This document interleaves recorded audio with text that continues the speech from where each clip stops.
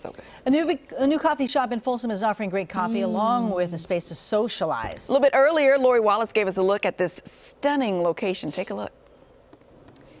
I am at Chant'el Cafe in Folsom, brand new. This place is absolutely stunning. When you walk in, this is what you see. Everything from the light fixtures to the decor, so beautiful. And the food and the coffee also top notch. So I want you to meet Nina here, who opened this place uh, and had a real vision in mind, and it turned out just how you wanted.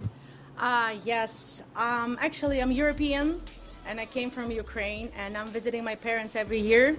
And uh, in Ukraine, we have a lot of beautiful places like that. So I really wanted, like, to bring our European culture here.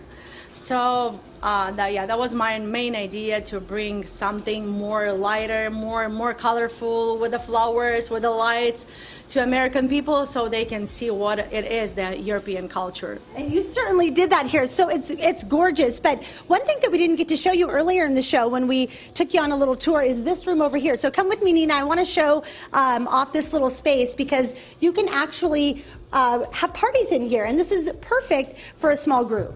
Yeah, we wanted people to have like a small parties here, so you can guys rent this out for baby showers, for small parties. We can fit right now like 16 people here. So if you need some beautiful space we can spend some time with your family friends for any parties, you're welcome here. Yeah, I love that. Okay, now we got to end with the food here because everyone back in studio loves to eat. So right now the case is not full because everything just came out of the oven, waiting for things to cool. But in the meantime, you do have some cakes here. Correct. And which ones do you have? The Mozart cake and the mango cake, and what is the honey cake? Oh, you know what? I got a lady. She uh, came here. She, she ordered like everything we had here, and she said for 18 years she was looking for this cake for the taste of this cake. It's like honey cake. She told me like, look, I have a chills right now because for 18 years I was looking for the taste and I found it here. Okay, so note to self: when you come to Chant'el Cafe, don't miss out on the honey cake. All right, now let's go in the back because that's where all the magic happens. Everything is baked here fresh daily, and uh, we're going to get a glimpse of it right now back here in the kitchen. One of the most favorite of yours on the menu, of course, is something that brings you back home, and it's what she's making right here on the stove. Yes, this is our, it calls uh, sirniki, but this is uh, farmer's cheese pancakes.